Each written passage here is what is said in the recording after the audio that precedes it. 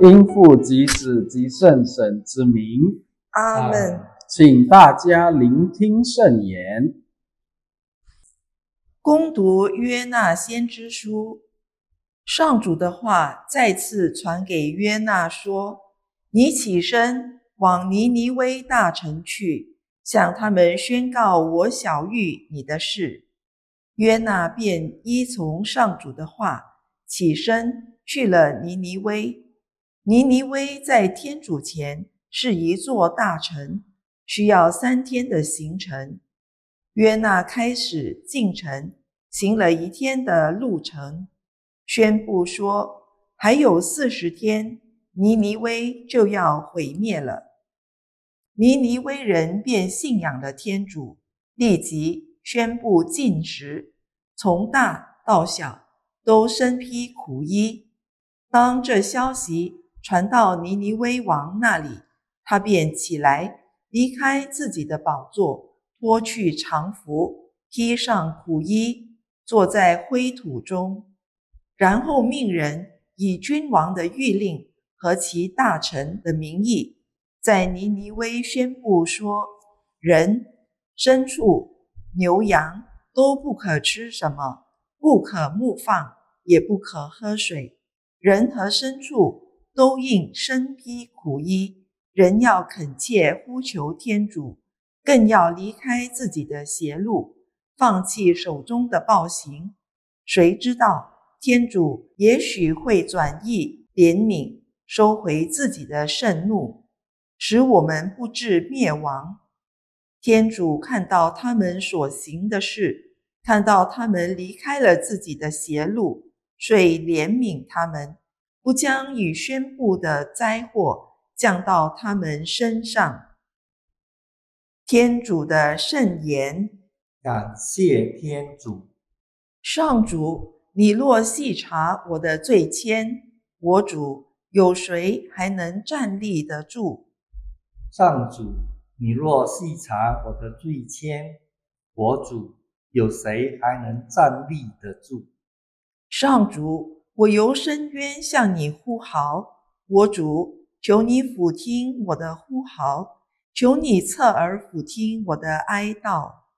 上主，你若细查我的罪愆，我主有谁还能站立得住？上主，你若细查我的罪愆，我主有谁还能站立得住？可是你宽恕为怀，令人对你起敬起爱。上主，你若细查我的罪愆，我主有谁还能站立得住？请以色列仰赖上主，因为上主富于仁慈，他必定慷慨救援，他必要拯救以色列人脱离一切罪恶。上主，你若细查我的罪愆，我主有谁还能站立得住？阿雷路亚，阿雷路亚，阿雷路亚，阿雷路亚。那听天主的话而遵行的人。更是有福的。阿雷路亚，阿雷路亚。愿主与你们同在，也与你的心灵同在。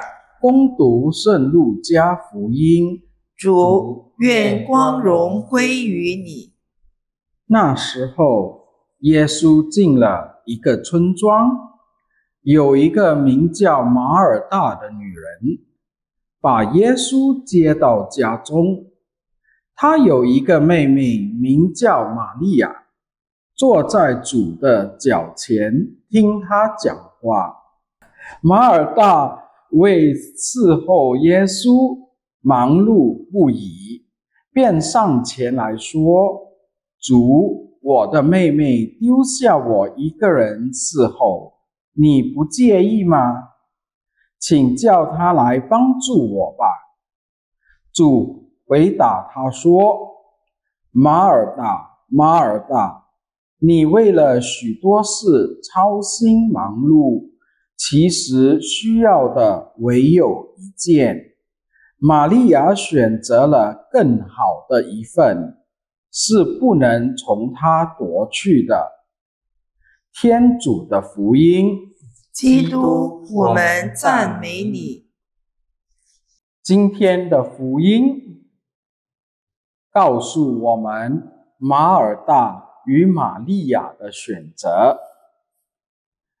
今天所使用的华文版本纠正了以前不正确的翻译，更好或比较好才是原来的意思。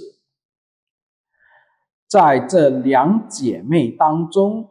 妹妹的选择比较好，并非是最好。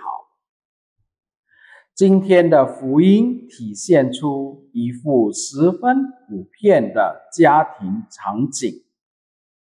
不知道你们还记得这首儿歌吗？客人来看爸爸，爸爸不在家。我请客人先坐下，再敬一杯茶。客人来看爸爸，爸爸不在家。我请客人先坐下，再敬一杯茶。这首儿歌我们都很熟悉。因为它是教导我们对宾客的尊敬，这个是礼数的需要。其实，对于客宾的尊敬，到今天都没有多大的改变。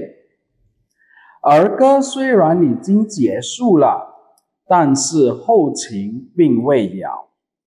我们能不能敬茶之后就离弃客人呢？这是不行的，也没有礼貌。我们都会陪着客人说说话、聊聊天，一直到爸爸回来为止。马尔大与玛利亚认识耶稣已经许久了，耶稣并非。陌生人，而是这家人的常客，犹如亲人。马尔大很自然的就为耶稣的饮食忙碌去了，很快的他就忽略了耶稣，他忘记了耶稣始终还是客。玛利亚。却懂得礼数，一直陪伴着亲客，不让他寂寞。马尔大的问题到底是什么呢？他有着一颗嫉妒的心，因此他向耶稣埋怨：“你难道不叫我的妹妹来帮我吗？”他的心里是有难。必要同当，为何只有我一个人在受苦，而其他人不受苦呢？有些人就是不能看到别人在某方面比自己强。马尔大的出发点只是为了自己，为了我。玛利亚。却不一样了。他的出发点是对方，他对对方的需要特别的敏感，处处为他人为先。在客人眼里，哪一位做到贵主的责任呢？不用思考，就是玛利亚。耶稣也认同这一点。马尔大难道做的不好吗？不是的，马尔大的选择还是很好，但是逊色于玛利亚的选择。同样的，我们在祈祷的时候与天主相遇，我们是否模仿马尔大，心不在焉？内心充满怨言和嫉妒，充满自我，把贵客耶稣舍弃在外呢？或者我们模仿玛利亚，恭敬地接待贵客，陪伴着他。